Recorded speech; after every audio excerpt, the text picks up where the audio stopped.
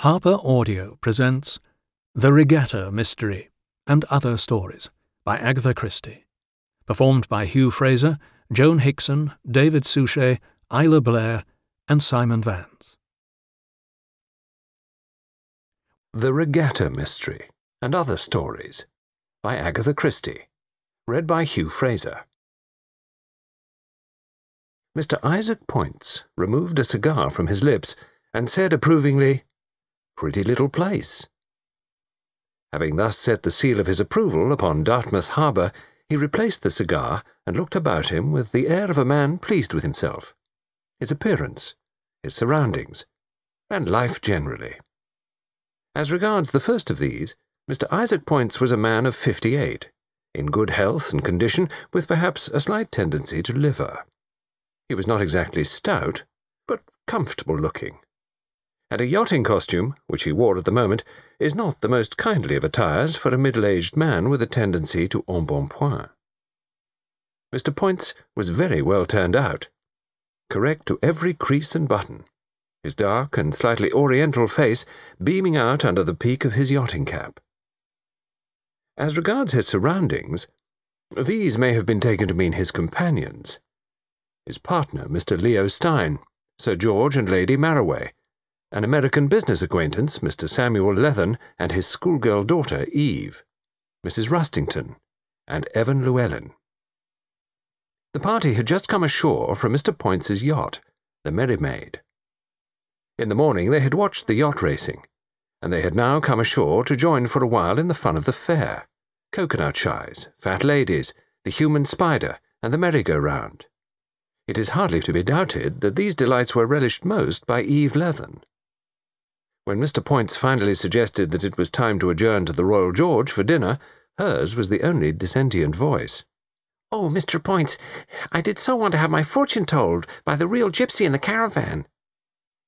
Mr. Pointz had doubts of the essential realness of the gypsy in question, but he gave indulgent assent. Eve's just crazy about the fair, said her father apologetically, but don't you pay any attention if you want to be getting along. Plenty of time, said Mr. Pointz benignantly. Let the little lady enjoy herself. I'll take you on a darts, Leo. Twenty-five and over wins a prize, chanted the man in charge of the darts in a high nasal voice. Bet you a fiver my total score beats yours, said Pointz. Done, said Stein with alacrity. The two men were soon wholeheartedly engaged in their battle. Lady Marroway murmured to Evan Llewellyn, Eve is not the only child in the party. Llewellyn smiled assent, but somewhat absently. He had been absent-minded all that day. Once or twice his answers had been wide of the point. Pamela Marroway drew away from him and said to her husband, That young man has something on his mind. Sir George murmured, Or someone. And his glance swept quickly over Janet Rustington. Lady Marroway frowned a little. She was a tall woman, exquisitely groomed. The scarlet of her fingernails was matched by the dark, red coral studs in her ears. Her eyes were dark and watchful. Sir George affected a careless, hearty English gentleman manner, but his bright blue eyes held the same watchful look as his wife's. Isaac Points and Leo Stein were Hatton Garden diamond merchants. Sir George and Lady Marroway came from a different world, the world of Antibes and Juan les Pins, of golf at Saint-Jean-de-Luz of bathing from the rocks at Madeira in the winter. In outward seeming, they were as the lilies that toiled not, neither did they spin. But perhaps this was not quite true. There are diverse ways of toiling and also of spinning. Here's the kid back again, said Evan Llewellyn to Mrs. Rustington. He was a dark young man. There was a faintly hungry, wolfish look about him, which some women found attractive. It was difficult to say whether Mrs. Rustington found him so. She did not wear her heart on her sleeve. She had married young, and the marriage had ended in disaster in less than a year. Since that time, it was difficult to know what Janet Rustington thought of anyone or anything. Her manner was always the same, charming but completely aloof. Eve Leathern came dancing up to them, her lank, fair hair bobbing excitedly. She was fifteen, an awkward child, but full of vitality. I'm going to be married by the time I'm seventeen, she exclaimed breathlessly, to a very rich man, and we're going to have six children, and Tuesdays and Thursdays are my lucky days, and I ought always to wear green or blue and an emerald, which is my lucky stone, and. Why, Pet, I think we ought to be getting along, said her father. Mr. Leathern was a tall, fair, dyspeptic looking man with a somewhat mournful expression. Mr. Pointz and Mr. Stein were turning away from the darts. Mr. Pointz was chuckling, and Mr. Stein was looking somewhat rueful. It's all a matter of luck, he was saying. Mr. Pointz slapped his pocket cheerfully. Took a fiver of you all right. Skill, my boy, skill. My old dad was a first-class darts player. Well, folks, let's be getting along. Had your fortune told, Eve? Did they tell you to beware of a dark man? A dark woman, corrected Eve. She's got a cast in her eye, and she'll be real mean to me if I give her a chance, and I'm to be married by the time I'm seventeen. She ran on happily as the party steered its way to the Royal George. Dinner had been ordered beforehand by the forethought of Mr. Pointz, and a bowing waiter led them upstairs and into a private room on the first floor. Here a round table was ready laid. The big, bulging bow window opened on the harbour square and was open. The noise of the fair came up to them, and the raucous squeal of three roundabouts, each blaring a different tune. Best shut that if we're to hear ourselves speak, observed Mr. Pointz dryly, and suited the action to the word. They took their seats round the table, and Mr. Pointz beamed affectionately at his guests. He felt he was doing them well, and he liked to do people well. His eye rested on one after another. Lady Marroway. Fine woman, not quite the goods, of course. He knew that. He was perfectly well aware that what he had called all his life the creme de la creme would have very little to do with the Marroways. But then the creme de la creme was supremely unaware of his own existence. Anyway, Lady Marroway was a damned smart-looking woman, and he didn't mind if she did rook him at bridge.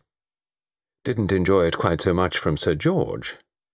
Fishy eye the fellow had, brazenly on the make but he wouldn't make too much out of Isaac Pointz. He'd see to that all right. Old Leathern wasn't a bad fellow. Long-winded, of course, like most Americans. Fond of telling endless long stories. And he had that disconcerting habit of requiring precise information. What was the population of Dartmouth? In what year had the Naval College been built? And so on. Expected his host to be a kind of walking Baedeker. Eve was a nice, cheery kid. He enjoyed chaffing her voice rather like a corncrake, but she had all her wits about her. A bright kid. Young Llewellyn. He seemed a bit quiet. Looked as though he had something on his mind. Hard up, probably. These writing fellows usually were. Looked as though he might be keen on Janet Rustington. A nice woman. Attractive. And clever, too. But she didn't ram her writing down your throat. Highbrow sort of stuff, she wrote, but you'd never think that to hear her talk. And old Leo. he wasn't getting any younger or thinner. And blissfully unaware that his partner was at that moment thinking precisely the same thing about him, Mr. Pointz corrected Mr. Leathern as to Pilchard's being connected with Devon and not Cornwall, and prepared to enjoy his dinner. Mr. Pointz, said Eve when plates of hot mackerel had been set before them and the waiters had left the room. Yes, young lady? Have you got that big diamond with you right now? The one you showed us last night and said you always took about with you? Mr. Pointz chuckled. That's right. My mascot, I call it. Yes, I've got it with me all right. I think that's awfully dangerous. Somebody might get it away from you in the crowd at the fair. Not they, said Mr. Pointz. I'll take good care of that. But they might, insisted Eve. You've got gangsters in England as well as we have, haven't you? They won't get the Morning Star, said Mr. Pointz. To begin with, it's in a special inner pocket. And anyway, old Pointz knows what he's about. Nobody's going to steal the Morning Star. Eve laughed. I bet I could steal it. I bet you couldn't. Mr. Pointz twinkled back at her. Well, I bet I could. I was thinking about it last night in bed, after you handed it round the table for us all to look at. I thought of a real cute way to steal it. And what's that? Eve put her head on one side. Her fair hair wagged excitedly. I'm not telling you, now. What do you bet I couldn't? Memories of Mr. Pointz's youth rose in his mind. Half a dozen pair of gloves, he said. Gloves? cried Eve disgustedly. Who wears gloves? Well, uh, do you wear nylon stockings? Do I not? My best pair ran this morning. Very well, then. Half a dozen pairs of the finest nylon stockings. Oh, where? Said Eve blissfully. And what about you? Well, uh, I need a new tobacco pouch. Right, that's a deal. Not that you'll get your tobacco pouch. Now, I'll tell you what you've got to do. You must hand it round like you did last night. She broke off as two waiters entered to remove the plates. When they were starting on the next course of chicken, Mr. Pointz said, Remember this, young woman. If this is to represent a real theft, I should send for the police, and you'd be searched. Well, that's quite okay by me. You needn't be quite so lifelike as to bring the police into it. But Lady Marroway or Mrs. Rustington can do all the searching you like. Well, that's that then, said Mr. Pointz. What are you setting up to be? A first class jewel thief? I might take to it as a career, if it really paid. If you got away with the Morning Star, it would pay you. Even after recutting, that stone would be worth over thirty thousand pounds. My, said Eve, impressed. What's that in dollars? Lady Marroway uttered an exclamation. And you carry such a stone about with you? she said reproachfully. Thirty thousand pounds. Her darkened eyelashes quivered. Mrs. Rustington said softly, It's a lot of money. And then there's the fascination of the stone itself. It's beautiful. Just a piece of carbon, said Evan Llewellyn. I've always understood that it's uh, the fence. That's the difficulty in jewel robberies, said Sir George. He takes the lion's share, eh, what? Come on, said Eve excitedly. Let's start. Take the diamond out and say what you said last night. Mr. Leathern said in his deep, melancholy voice, I do apologize for my offspring. She gets kind of worked up. That'll do, Pops, said Eve. Now then, Mr. Pointz? Smiling, Mr. Pointz fumbled in an inner pocket. He drew something out. It lay on the palm of his hand, blinking in the light. A beautiful diamond. Rather stiffly, Mr. Pointz repeated, as far as he could remember, his speech of the previous evening on the Merry Maid. Uh, perhaps you ladies and gentlemen would like to have a look at this. It's an unusually beautiful stone. I call it the Morning Star, and it's by way of being my mascot. It goes about with me anywhere. I like to see it? He handed it to Lady Marroway, who took it, exclaimed at its beauty, and passed it on to Mr. Leathern, who said, mm, Pretty good. Yes, pretty good, in a somewhat artificial manner, and in his turn passed it to Llewellyn. The waiters coming in at that moment, there was a slight hitch in the proceedings. When they had gone again, Evan said, Very fine stone, and passed it to Leo Stein, who did not trouble to make any comment, but handed it quickly on to Eve. How perfectly lovely! cried Eve in a high, affected voice. Oh! She gave a cry of consternation as it slipped from her hand. I've dropped it! She pushed back her chair and got down to grope under the table. Sir George at her right bent also. A glass got swept off the table in the confusion. Stein, Llewellyn, and Mrs. Rustington all helped in the search. Finally, Lady Marroway joined in.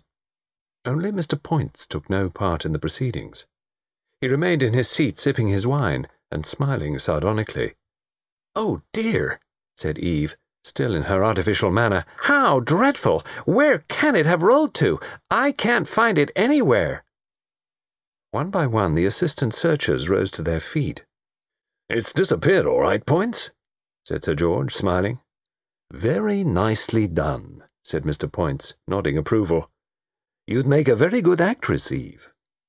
Now, the question is, have you hidden it somewhere? Or have you got it on you? Search me, said Eve dramatically. Mr. Point's eye sought out a large screen in the corner of the room. He nodded towards it, and then looked at Lady Marroway and Mrs. Rustington. If you ladies will be so good. Oh, why, certainly, said Lady Marroway, smiling. The two women rose. We hope you enjoyed this preview. To continue listening to this audiobook on Google Play Books, use the link in the video description.